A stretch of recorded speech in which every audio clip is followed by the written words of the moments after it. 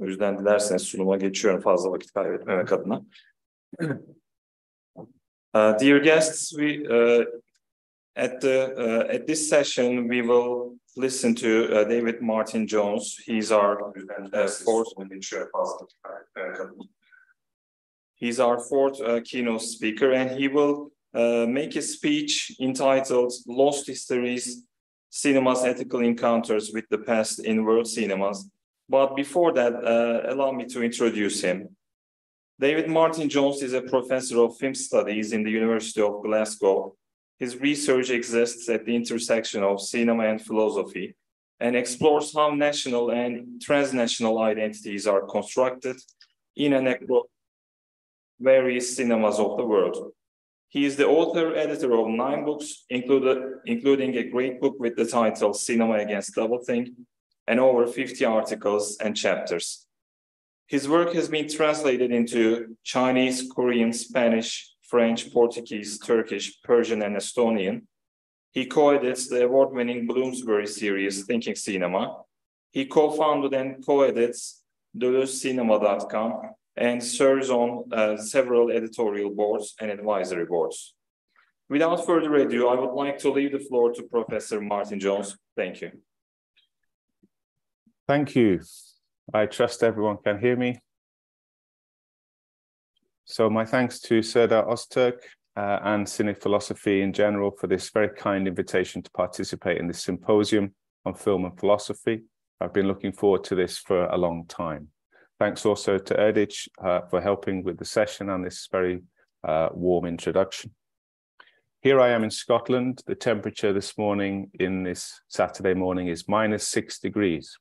So should there be some problem with the Zoom, and you might think to yourself, ah, the Zoom has frozen, he's very still.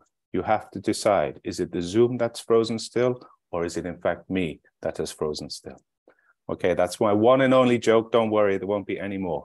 I shall share screen. Here we go.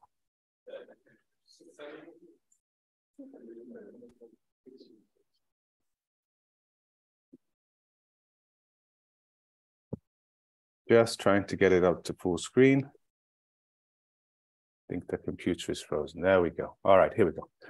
So today I'm going to discuss some of the complexities which surround ethical encounters with otherness, human and non-human, that are offered by a world of cinemas.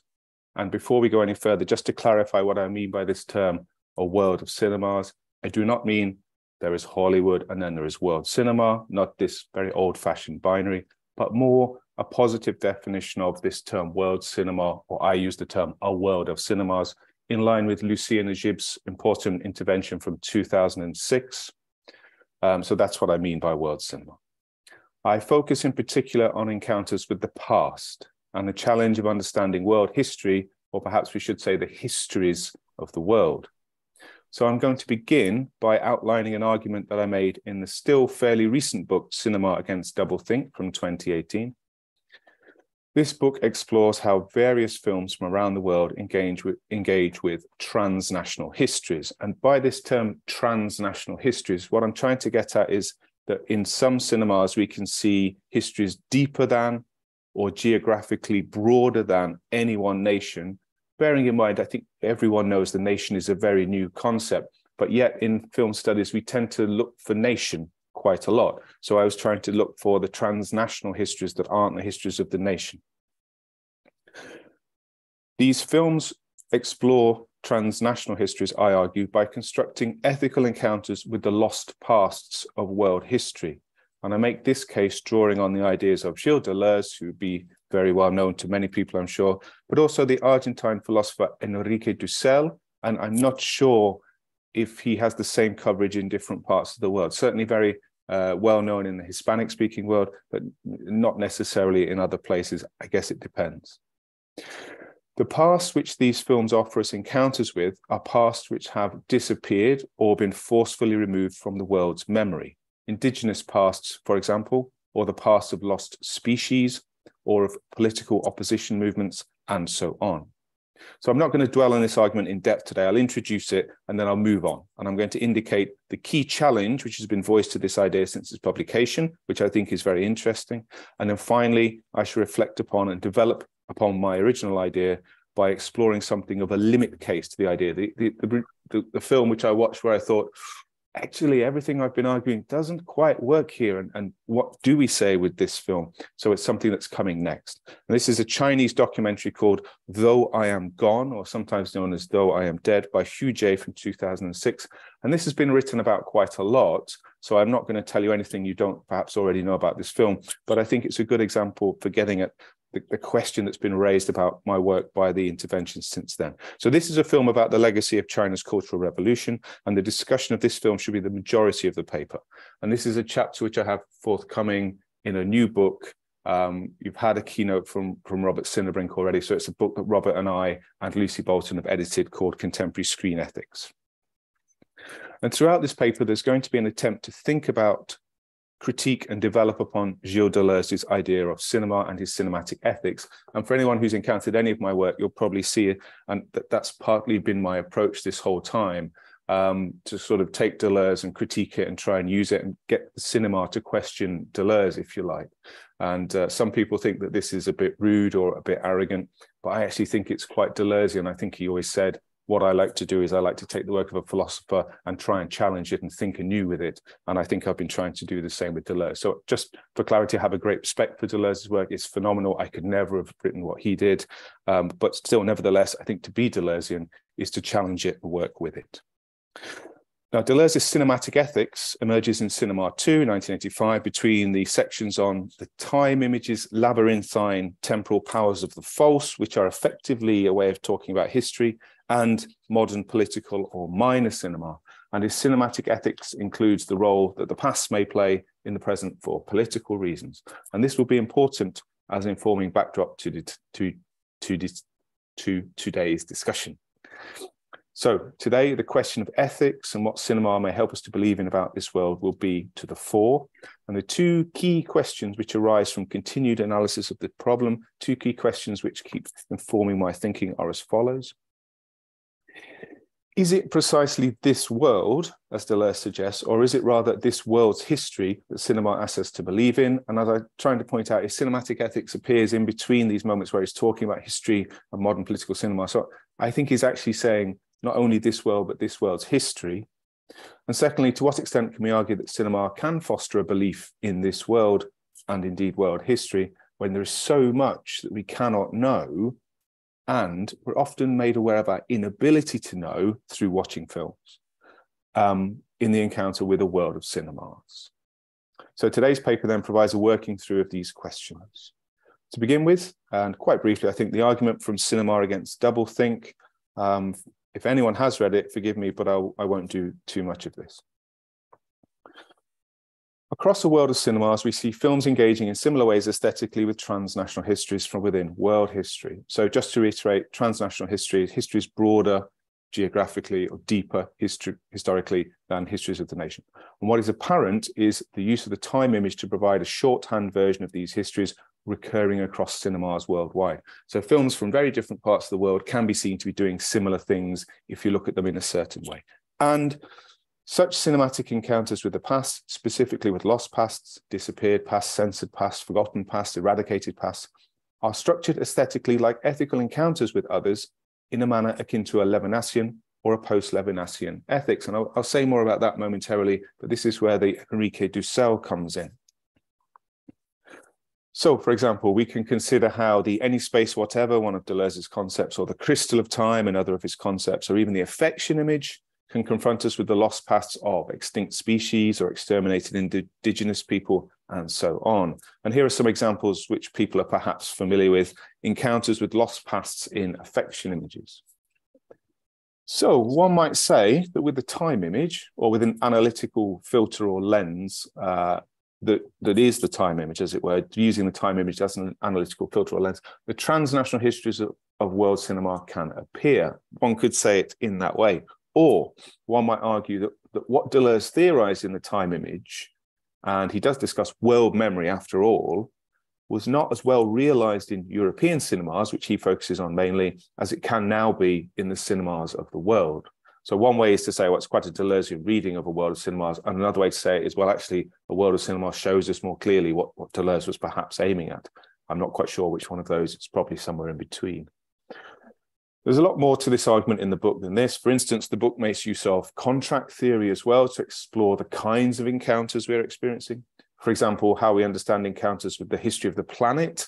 How can you talk about, you know, uh, uh, this sort of geological history as something you encounter in cinema? It sounds a bit bizarre, but if you think about Michel Serres and the natural contract, it starts to come into into view a little bit that um, cinemas of the world they kind of use monsters or extinct species or mythical beasts to sort of make a face for us through which uh, the earth can speak. And this is just one example of the various contracts that uh, explored in the book, the natural, the racial, the social, and so on. The exploration of the ethics of such encounters is also informed by the thinking of Enrique Dussel. Now, Dussel is an Argentine philosopher, as I say, but he's been based in Mexico since the 1970s. He had to flee the dictatorship. And he's a key figure in the philosophy of liberation. He's written hundreds of books, so perhaps people have heard of him. He provides a post-Levinasian ethics, um, which I think is helpful. In, in film philosophy, we've, we've, there's been a lot of work on Levinas and ethics and how we can understand cinema in that way. And I think it's wonderful work. But I think that we get something a bit different with the Dussel, and it unlocks something about world cinemas for us. Whilst um, the other for Levinas is a biblical other, or perhaps it's an archetypal other, if you like. It's the stranger, the widow, the child. But the other for Dussel is a historicized other, and it's all those excluded from modernity worldwide. So the key finding of this book is that a world of cinemas constructs encounters with lost past to shake the viewer out of their complacency regarding their established understanding of history. And in particular, and I'm really talking for someone like myself, I suppose you would call me a, I don't know, a white middle-aged man from, from the global north it shakes me out of a Eurocentric model of world history, makes me realize that that is not actually the central history of the world. So this is why it's Dusselian. So while Levinas believes the encounter with the other can shake us out of our egocentric sense of self, Levinas, the Dusselian encounter with lost pasts in a world of cinema shakes us out of our hegemonic sense of world history because the other for Dussel is all those excluded by modernity worldwide.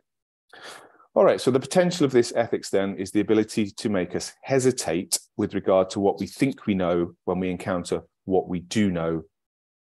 Well, sorry, when we encounter what we do not know on screen. So it's it's the ability to make us hesitate with regard to what we think we know when we encounter what we do not know on screen. And hence I've called this cinema against doublethink because Orwellian doublethink, you will remember, suggests that you can and should forget any history which challenges the hegemonic view of history. So it closes down history to a sort of singular dominant perspective. But the encounter with the world of cinemas, conversely, and I've put a slide up from Embrace of the Serpent, which is a wonderful film in this respect, I think, attempts to open up this gap once more to make us hesitate in our belief in what is the, the sort of the central line of history, make us realize that there are a lot of histories. As what we encounter in these transnational histories are lost pasts, we are often also reminded by their cinematic representation that we cannot know them. They are, by definition, lost pasts. So there's something very paradoxical here, and it, it causes me a lot of mental gymnastics. We are reminded that these pasts existed, but also that they are now gone, and in this sense, they are completely unknowable. So this hesitant, hesitant ethics created by the encounter with the world of cinemas gives us a pause to reconsider what we held to be true about the past, but also creates great uncertainty over what may have been the case historically due to our inability to know the past which are lost.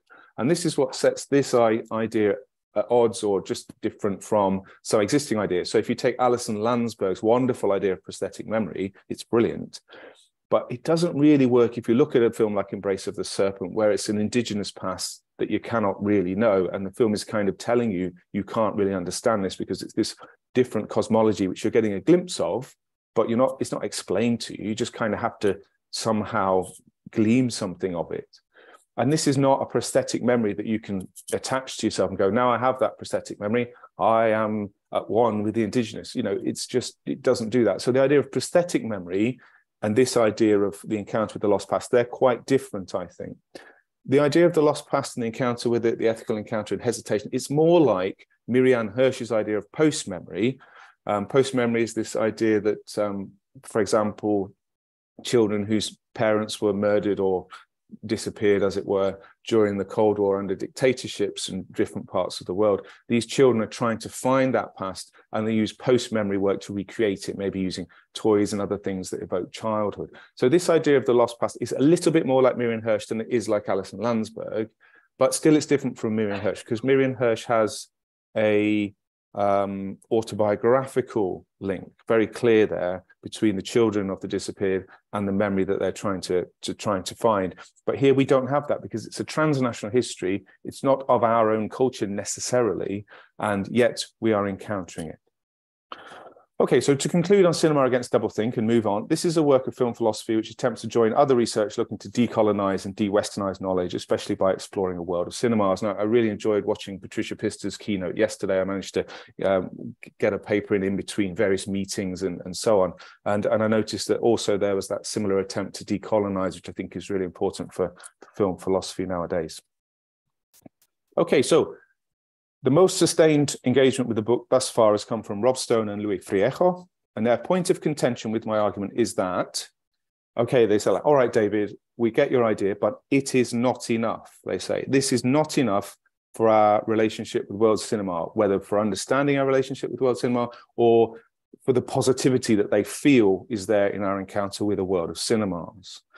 And their they think that there is a more positive power to world cinemas and that this relies on our ability to know or perhaps to learn rather than to realize what we cannot know through the encounter with otherness. So they're seeing my take on it as a bit negative. And they shift the emphasis from the unknowable, such as the lost past, which I focus on, to the as yet unknown. And I find this argument very compelling and I don't intend to sort of oppose it here, but I'm going to try and work with it and the gap between my idea and their idea. Now, they move in a different direction anyway to counter my arguments about hesitation. They use uh, a Derridean deferral of meaning, they focus on empathy, and they emphasize genre films. So it's quite different in any case. But actually, for me, the distinction that between our positions is not that vivid. I think quite a lot resonates and we, we remain in similar terrain. For example, Freijo and Stone used the, the scene depicted here from the Western Wind River from 2017, which I, I guess perhaps a lot of people have seen, to illustrate their point. Here, an indigenous American, Martin, played by Gil Birmingham, of in the film is of Eastern Shoshone descent, has put on a death mask, this white and blue face, to mourn his deceased daughter. As there is nobody left alive from his tribe to tell him how to make this mask, however, he has simply made it up and he sort of says as much. And as Stone and Freijo note, this is precisely the, the lost past which I've been examining. As a lost past, it is unknown, and I think that this is what the film may be reminding us of. But from their perspective, we should understand this lost past as the signified. And as such, its meaning is perpetually deferred into the future. So it's not unknowable so much as it is as yet unknown. Okay, so that these are this is the difference between their thinking and, and my thinking. So to me, despite this critique, our positions are not dissimilar, and I think this is because of the Deleuzean ground upon which I build my analysis. And I think this because I think there's a lot of resonances between a book like Cinema 2 by Deleuze and Spectres of Marx by Jacques Derrida. Not only is there that very foregrounded play with Hamlet and time being out of joint in both of them, but if you take, say, The People Yet to Come of Deleuze's modern political or minor cinema. It's not that dissimilar to Derrida's New International, um, and both of these indeed seem to be deferred into the future. But I would I would try and sort of make a fine point about my argument about hesitation. My suggestion of hesitation does not, I do not think, necessarily preclude there being a future potential in the encounter with with the unknown. I think it makes you hesitate, but I don't think that's necessarily the end point. I think the hesitation is then productive. It leads you to think again.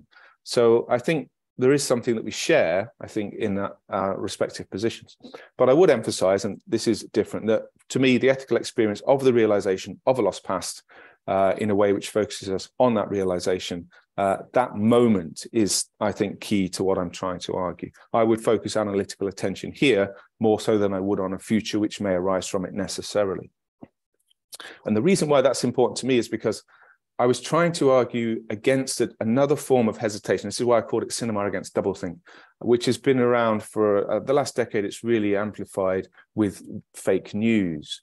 And you know, let's say Bruno Latour, for example, sort of famously said that the right wing was using cognitive dissonance to deny climate change. It said, well, we'll, bring forward a different idea and we'll make people very confused as to what is the case. So the scientists say there's climate change and we should do something, but then we put forward some other ideas that there isn't really. So people go, oh, a bit of a head scratcher. I, am not really sure. So hesitation there is very stultifying. It's very negative. It stops you from acting.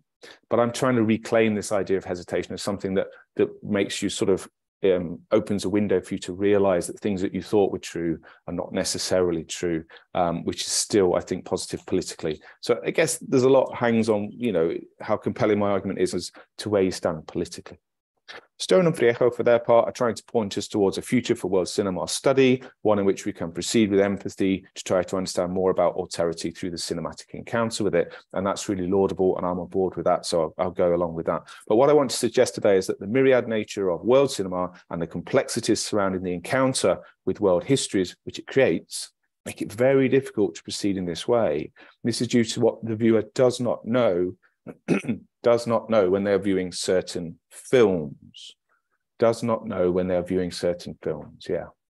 So, with this idea in mind, for the remainder of the paper, I wish to turn to the example of the Chinese film that I flagged up before, Though I Am Gone, sometimes also known as Though I Am Dead. This film is banned in China, but you can find it on the internet. the question sorry. The question this film asks us to consider further is that which Stone and Freijo's engagement with cinema against doublethink highlights. In world cinema, to what extent is the lost past unknowable or as yet unknown? Indeed, how should we understand this relation to a cinematic ethics like the one I am proposing after Deleuze and Dussel? So, as I say, this is like a limit case. This is the, the film I watched where I thought, of all the films I've watched and what I tried to make an argument for, this one is a bit different. Okay, so this film come is it's like a certain kind of films that's been emerging in the 2000s and 2010s documentaries about lost histories of eradicated political oppositions from the cold war. So these kinds of films i'm sure people have seen some of these. Um, they tend to deal with the eradication of political opposition movements during a state of siege or state of exception, and the search for these lost pasts by generations that come later, or the attempt to preserve these lost pasts, we might say. If we consider their examination of history, what we often find in such films is this idea. The personal museum of memory upholds cultural memory more broadly for the public sphere. That is, the private archive standing in for what was disappeared about the past officially from the official record of the past during this state of exception or state of siege, what was eradicated, remains in private archives. This is the notion that when a state sets out to erase a political opposition within its own borders and then to also erase its own actions in this respect from history, a bulwark against this Orwellian rewriting of history remains in the memories and private archives of individuals. I'm just going to give a brief example of a very lovely film, which I suspect no one has seen because it's very hard to get. Um, it's a Uruguayan documentary by Juan, Al- Juan Alvarez Neme called Al Pie del Árbol Blanco, at the foot of the white tree, and this is from 2007. And this is about the recovery of photos taken by a photographer, Aurelio Gonzalez, who you see there holding up one of his photos, who worked for the communist newspaper El Popular in Uruguay, Montevideo, which was shut down by the government in 1973. Now, Gonzalo, Gonzalez was in the building when the paper was shut down, and he kind of hid the archive of photos uh, that he'd taken most of them from from the newspaper. So Gonzalez went into exile when the dictatorship came into power. He managed to escape the building and escape the soldiers, um, but he hid the archive before he left. On his return, years later, he sought out the photos. What's interesting in the documentary is the building is completely changed. It's a commercial venue, but they do find the archive. It's quite incredible. So this is an archive of a now closed newspaper. So you could say, oh well, that's that's not what you were saying, David. This is a lost a lost public archive. But actually, it's Gonzalez's personal search, which we learn about, his personal memory, his investment in his photographic archive, an archive which he created, he hid, and only he seems to care about anymore. And this search is undertaken so that the archive can reinform a broader cultural memory. And at the end, or really at the beginning of the documentary, but at the end of the process of searching, he donates his personal archive to the people of Uruguay. So as I said, such documentaries construct personal audiovisual museums of memory on screen to try to show us these lost pasts in spite of the absence of footage which actually records them.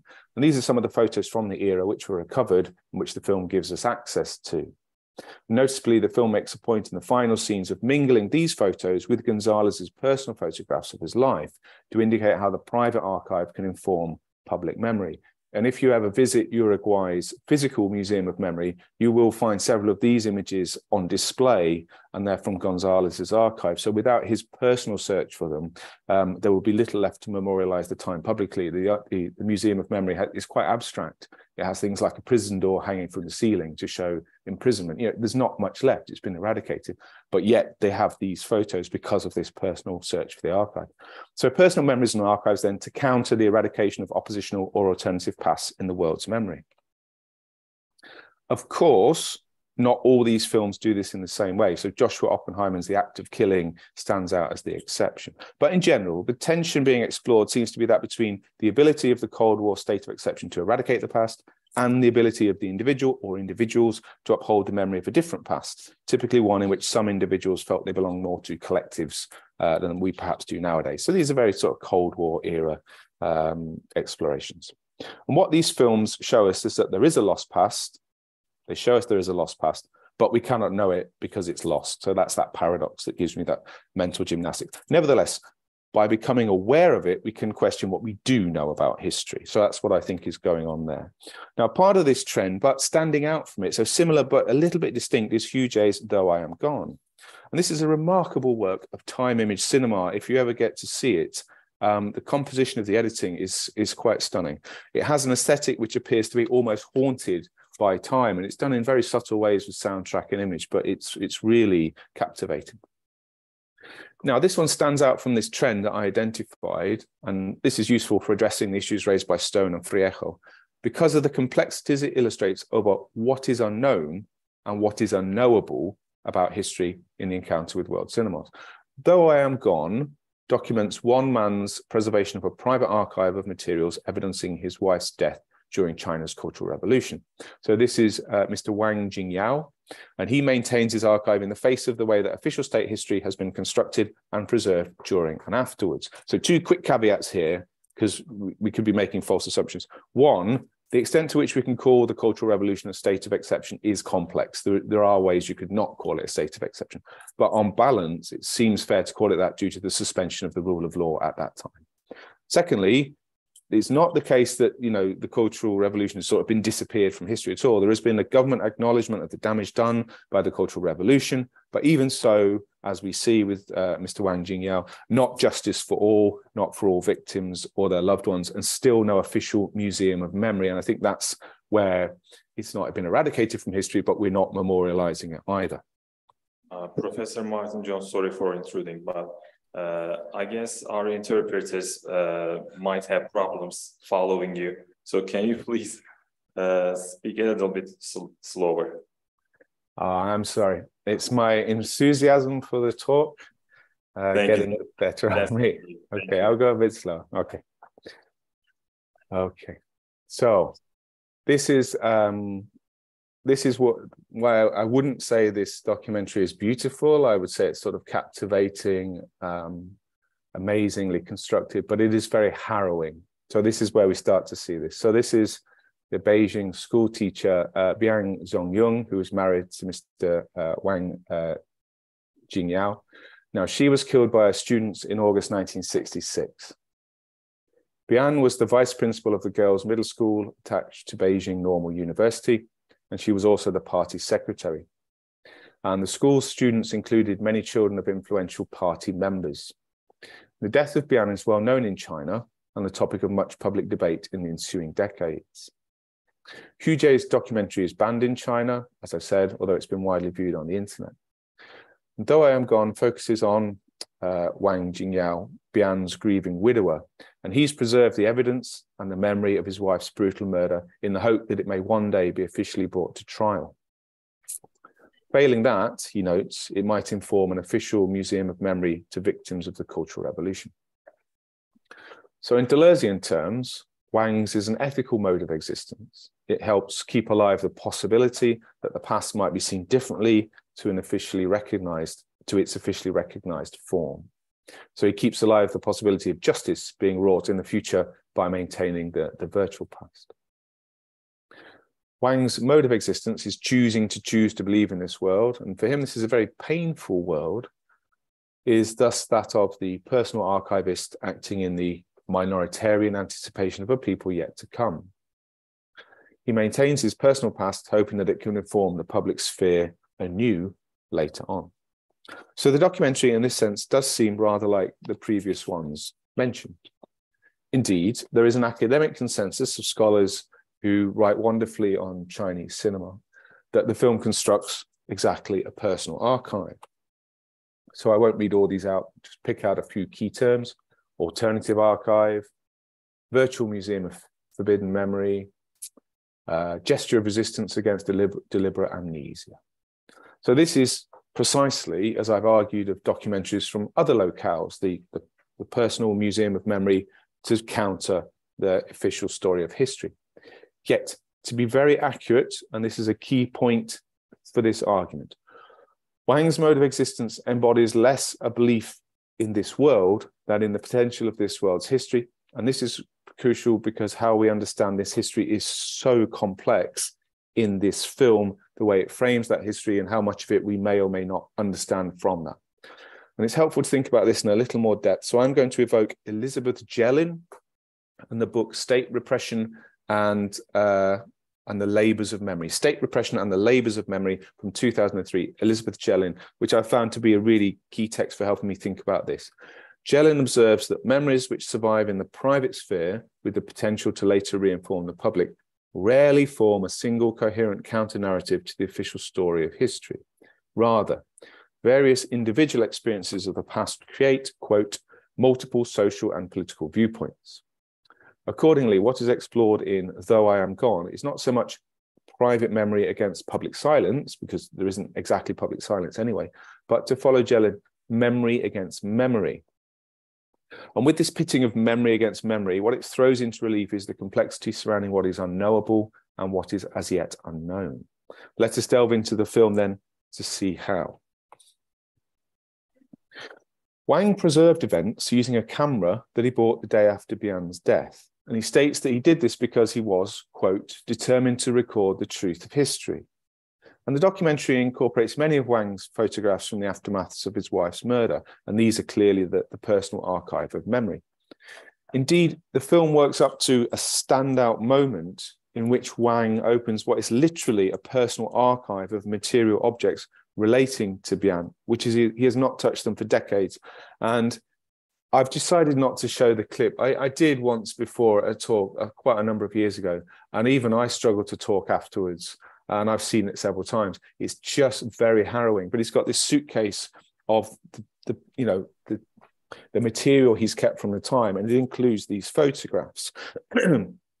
so the archive includes blood-stained clothes that Bian was wearing when she was beaten to death, Wang's photographs, uh, the documents of you know him trying to get justice from the authorities, the testimony of other witnesses and survivors, and other artifacts preserved for nearly four decades and that includes uh, two watches. Now, together, these objects resemble exhibits, I think, at trial. They also indicate, materially, that Wang's personal museum of memory exists in the folds within official history, packed away in a suitcase in his home, the private archive. We might be tempted then, especially on first viewing of this film, to see Though I Am Gone as a straightforward story of justice denied, a personal memory against state history. And this would be as per the current academic consensus on this documentary, and it would be also as per my own findings more broadly about such films from around the world. However, and this is why this film has been really helpful for making me think past my own conclusion. Whilst it focuses on individual memory and the personal archive as a bulwark against Orwellian state denial, things are more historically complex than this and this influences how we understand what is unknown in the cinematic encounter. Wang and his wife had been, the documentary reveals, loyal party members through the Sino Japanese War and the Civil War, before they then attained the roles they had when the Cultural Revolution erupted. So this is why this is a very interesting example, because in most of the ones we're talking about, you you start to learn something about the opposition that was that was eradicated, the past that has been disappeared by state history, state action, state of exception. Um, whereas in this instance, the people who have who have suffered during the state of exception were part of the official story of history until that point. So it's why it's quite complex now. So Wang and his wife had been, as I say, party members from the Sino-Japanese War, the Civil War, and then the, when they got the roles they had when the, the Cultural Revolution erupted. So Wang's familial history and the majority of the photographs are of the family unit, demonstrate that his grievance may be as much about Bian's murder as it is the injustice and betrayal of the history of the party and the national history constructed by it that they were an integral part of. And this is something they've been working for for many years as, as revolutionaries. So what this means in terms of how we might believe in this world as per Deleuzean cinematic ethics is very interesting. During the film's emotive last minutes, when Wang opens the suitcase of Bian's personal effects, he removes a wristwatch. Its hands stopped, we are led to infer, during Bian's violent beating in 1966. Almost immediately afterwards, an old fashioned fob watch is produced from the suitcase a different watch which Bian inherited from her stepmother. Now, this watch, the fob watch, Wang informs us, was used in 1947 during the Civil War by the Xinhua News Agency and the Shanbei radio station. This was then based in the Taihang Mountain region after the communist withdrawal from Yan'an. So this fob watch enabled the time to be announced to the communist troops over the radio. In the same climactic section of the film, Wang shows us the camera sorry, Wang shows to the camera Bian's Battlefield Service Group badge. Wang also, when prompted by the director Hu, notes Bian's love of certain songs popular from the Sino-Japanese War, such as Ode to the Yellow River and On the Taihang Mountain. And as he then recounts how Bian sang the latter song in 1945 in the Taihang Mountain region, the music is heard on the soundtrack.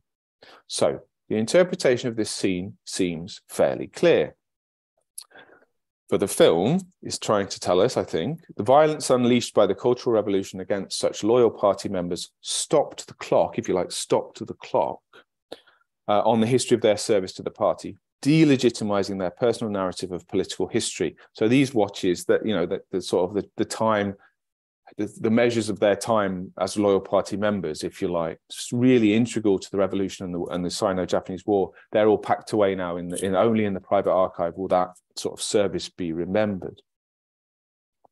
So this sort of delegitimizing of their personal narrative of political history is, as we would find in a historian of the Cultural Revolution like Paul J. Bailey, he understands the Cultural Revolution in this way. Uh, I flag that because different historians see the Cultural Revolution in quite different ways. The history which was attacked during the Cultural Revolution, now memorialized only in the private lives of family members of deceased victims, and you could say, well, yes, but also banned films like this one, was that of another possible road or roads for the revolution that stemmed from the Yan'an period. Okay, so there's obviously there's more to this in the in the the, the book chapter, but for our focus today, there are several interlinked unanswered questions which we are then left with after watching the film.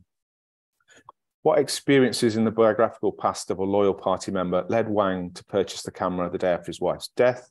Why did he record her corpse as one would record a body in a crime scene? How did his, did, how did his experience of political history prior to the Cultural Revolution inform his decision making? And through such questioning, the nature of the injustice which Wang feels is here rendered more complex because he is so integral to the context.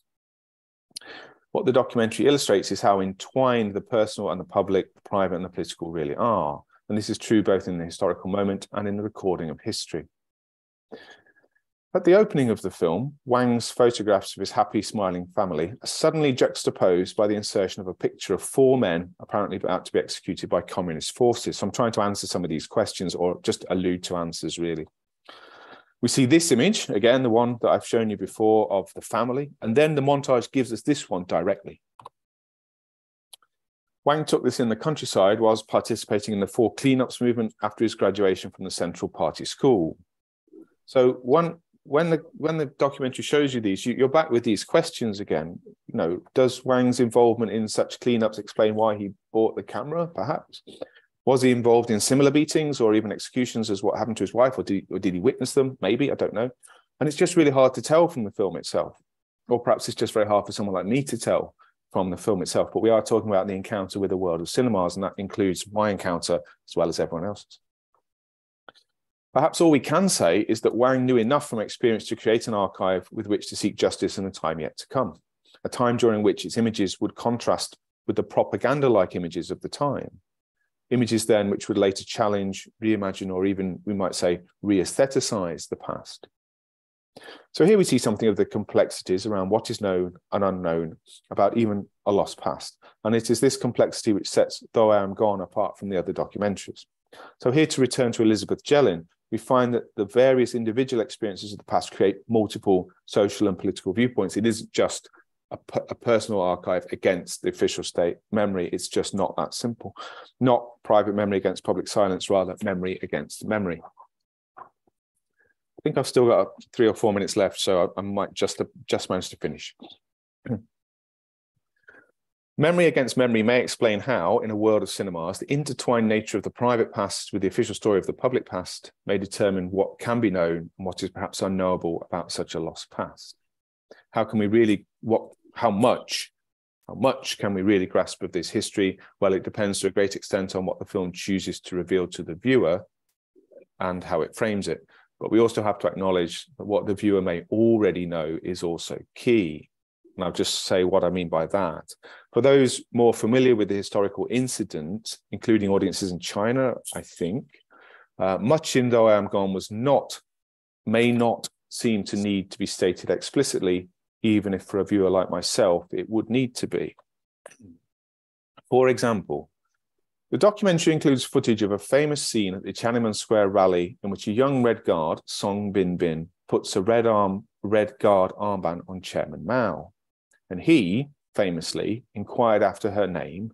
And then when he heard it, he remarked that it would have been better were it. And then he pronounces it slightly differently in a way which would mean want arms, or sometimes that's translated as be violent. And this was interpreted by many as a legitimizing call to violence, which repelled the murderous excesses which would follow of the Cultural Revolution. Now, in the documentary, this is presented to the uninitiated, like myself, as contextualizing evidence of Mao's role in inciting the violence. But for those with more knowledge of the events themselves, there's something else really apparent. But if you don't know a bit more about it, it just isn't apparent at all. There is a much more direct link evident to the particular story of Wang and the murdered Bian. And it's more, this scene in the documentary is more than just context. At the center of the controversy surrounding who killed Bian is Song Bin Bin. Now, she was a leading Red Guard at the girls' school. So the incident with the armband occurred 12 days after the death of Bian. And the two events became linked by the presence of Song and the increased violence which soon followed.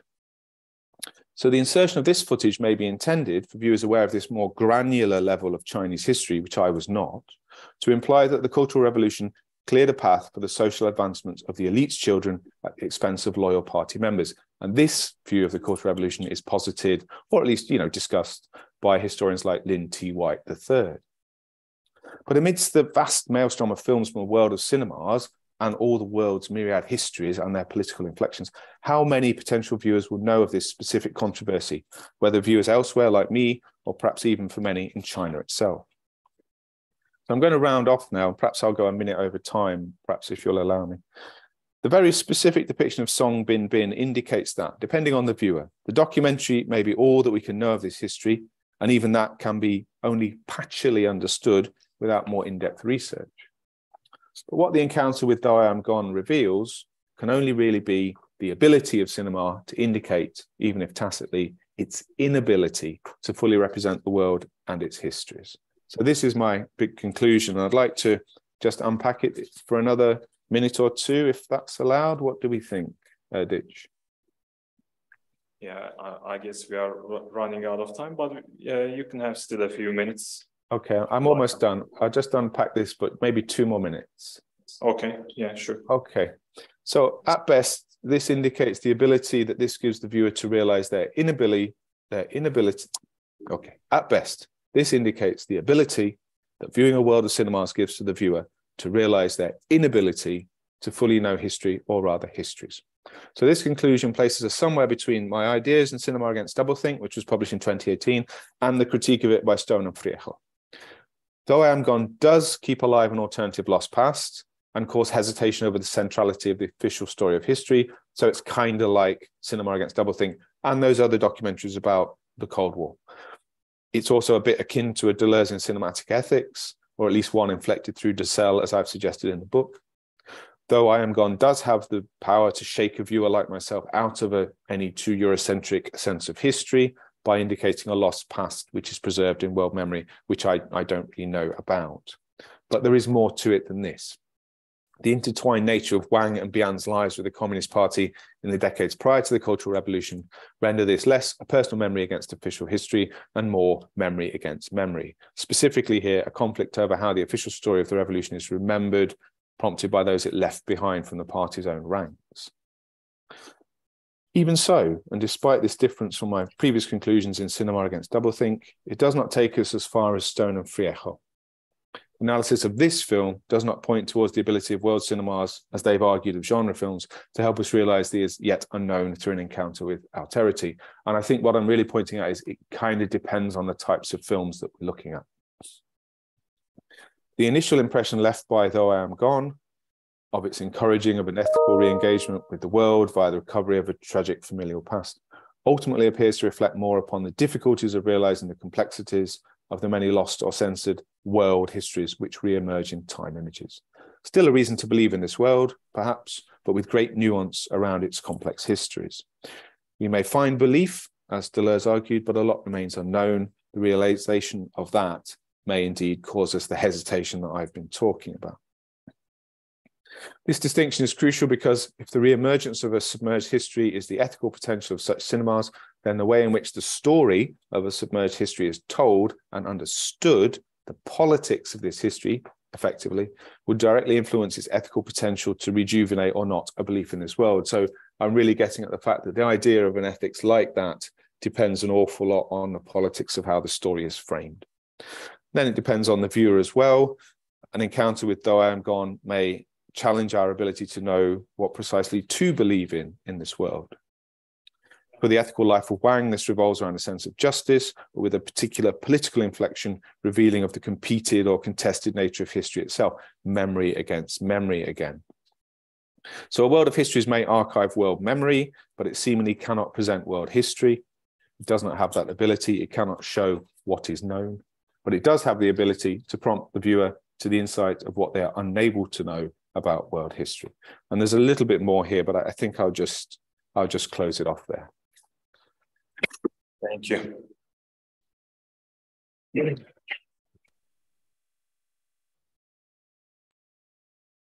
Thank you, Professor Martin Jones. That was a great speech and an inspiring one. Uh, I will ask the audience if they have any questions right